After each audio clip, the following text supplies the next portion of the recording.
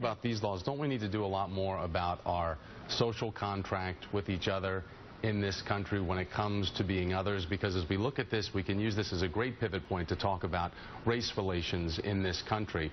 But being an other, whether it's LGBT, because you're then suspected of being a pedophile right. and a rabid disease carrier. Yep. Uh, and if you are a woman, well, you certainly don't have a right to your own body and your own right. reproductive health, because if you do, then you're just a slut who wants to sleep around and use yep. abortion as birth control.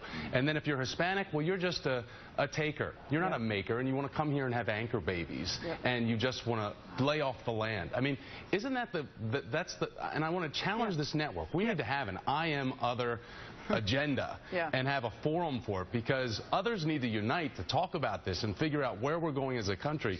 The social contract that we have currently negotiated that is so wrong and how this is happening in a country where we have this huge group of people that it's supposed to be a melting pot, but we treat yep. each other with such disdain, it's not even funny. Amen. Well, I'll, tell you, I'll tell you what, Thomas, the first thing I'll say is I will absolutely take you up on that challenge. If we can convince the folks uh, where we work, I would happily co-host with you a long-term town hall special around this or anything Let's else. Let's do it. Can I get in on that? You know, Let's do right? it. I like because, because look,